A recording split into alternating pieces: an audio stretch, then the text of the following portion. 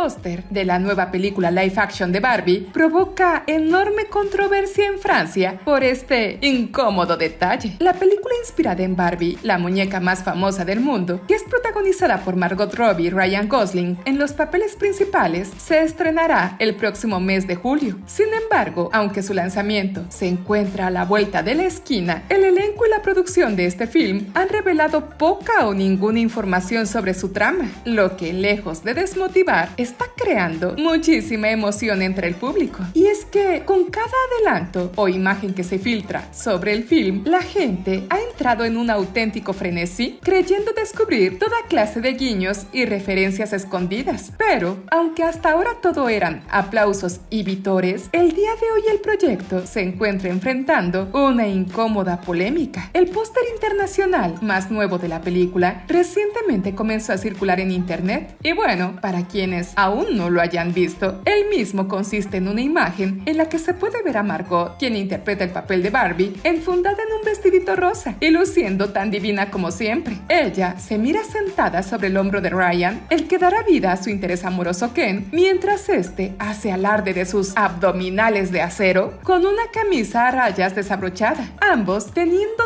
más que una palmera y el cielo azul de fondo. No obstante, aunque las imágenes no tienen nada de extraño, salvo por el hecho de que ambos actores lucen fabulosamente irreales, la controversia deriva ni más ni menos que del eslogan con el que se ha acompañado el cartel. Resulta que en todo el mundo la frase que se ha ocupado para la cinta ha sido ella lo es todo, él es solo Ken. Un juego de palabras que hace alusión a dos cosas. La primera, que como todos sabemos, el novio de Barbie siempre fue un complemento más que podías comprar, como si fuera un bolso, un auto o cualquier otro aditamento, ya que en el Barbie verso, como su nombre lo indica, Barbie es la gran protagonista, de manera que ella un día puede ser una astronauta, una princesa, doctora, presidenta o incluso una sirena. Y la segunda es que en plena época actual, Barbie desea ser representada como una figura de empoderamiento femenino, por lo cual el eslogan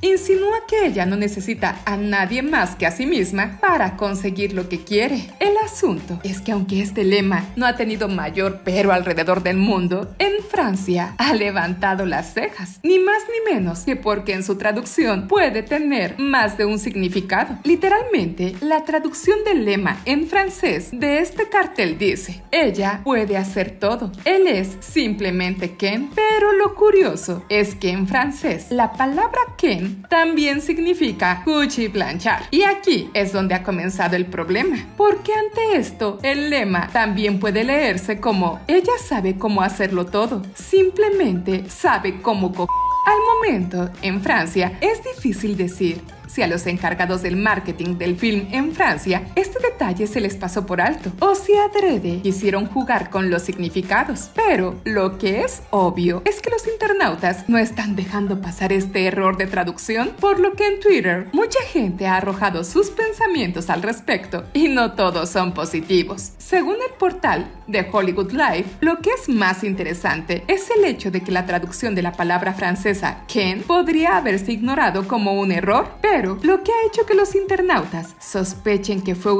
con un doble propósito, quizás para captar la atención del público sobre el film, es que la primera parte del eslogan en inglés dice Barbie lo es todo, pero en lugar de traducir al francés tal cual esta frase, los encargados de la publicidad decidieron poner en el cartel Barbie puede hacer cualquier cosa, lo que da mayor sentido a que la frase se interprete como co si te gustó nuestro video, compártelo, suscríbete y dale like. Yo soy Liz. Hasta la próxima.